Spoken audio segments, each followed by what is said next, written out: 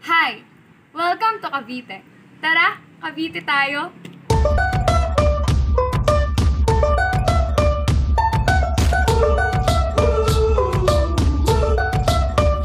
Cavite is a province in the Philippines located in Calabarzon region in Luzon.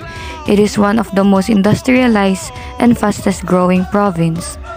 Cavite abounds with great objects and subjects of culture and history.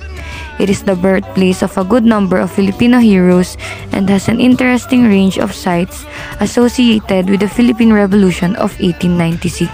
From the heritage and architectural places in Cavite, there is no place I would rather be. A province that's not constrained upon their living in the past, Cavite also teems with its natural resources and fantastic landscapes.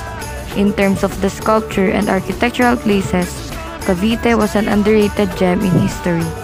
We can see the Monument of Felipe, Bantayog ng Labintatlong Martir ng Cavite, General Trias Church, Bonifacio Trial House, and the famous General Aguinaldo Shrine, which was then the mansion and designed by the late President Emilio Aguinaldo.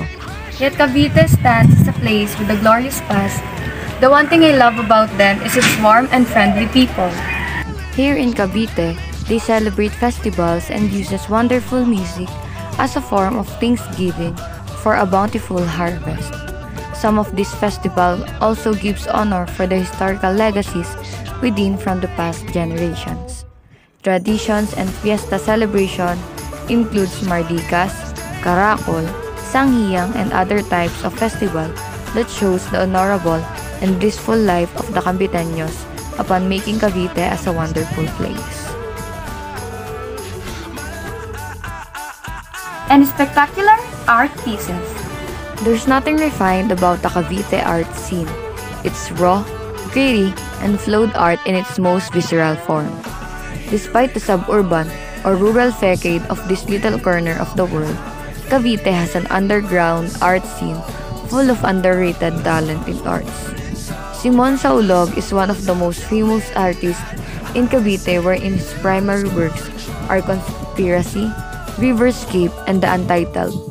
In places like Cavite and hopefully other communities outside and inside the metro, progressive alternative art communities exist with the intention of returning to our roots, to what is art and why it means so much to us in the first place.